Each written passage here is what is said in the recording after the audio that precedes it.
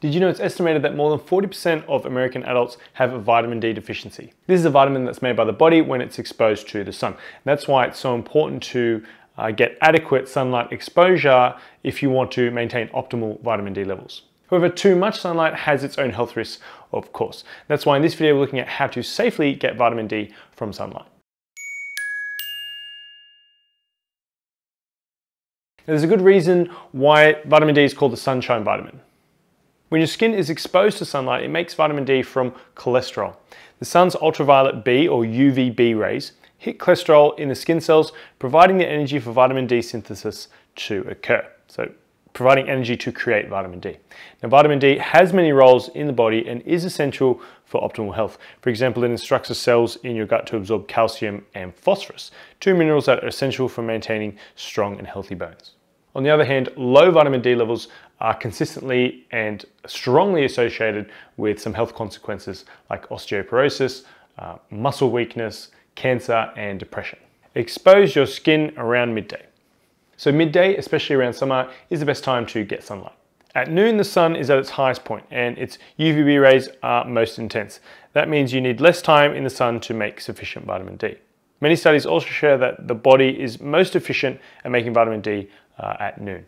For example, among Caucasian adults in the UK, sufficient but suboptimal vitamin D status is attained after a summer's short sunlight exposure to 35% skin surface area, and that was about 13 minutes in this study.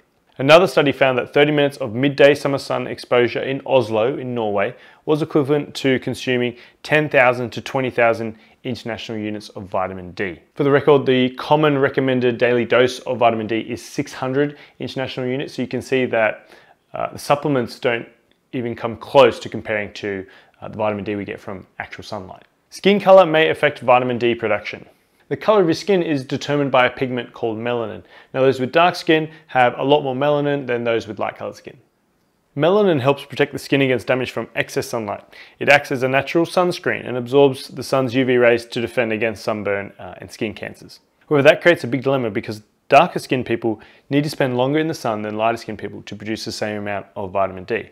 Studies estimate that darker skinned people may need anywhere from 30 minutes to 3 hours longer to get sufficient vitamin D compared to lighter skinned people. This is a major reason why dark skinned people are at an increased risk of vitamin D deficiency. So if you have dark skin, you may need to spend a little bit of extra time in the sun to get your dose of vitamin D. If you live far north from the equator, in these areas, more of the sun's rays, particularly the UVB rays, uh, they're absorbed by the Earth's ozone layer. So if you do live far north of the equator, you probably need to spend a little bit of extra time in the sun to get your vitamin D.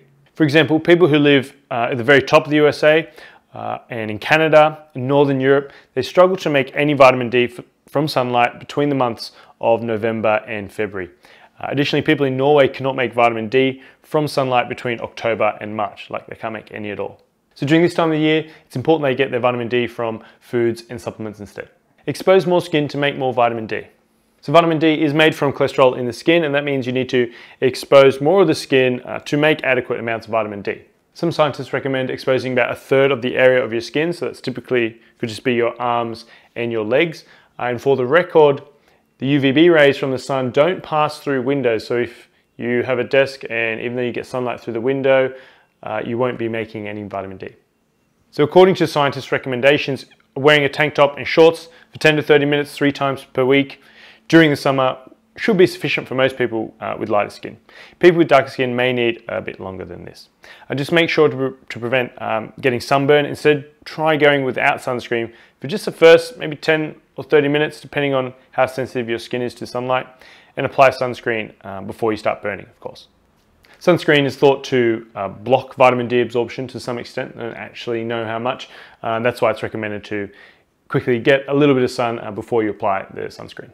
So to summarize all that, to make sure you get adequate vitamin D levels, uh, try to get 10 to 30 minutes of sunlight exposure on your arms and legs at about three times a week during the summer. People with darker skin and those very far north of the equator may need a little bit of extra time than this, but of course, uh, consider how sensitive you are to the sun and make sure that you don't get burnt. Thanks for watching. Make sure to give this video a thumbs up if you found it informative. Don't forget to subscribe to Healthline's Authority Nutrition YouTube channel by clicking the red subscribe button below this video.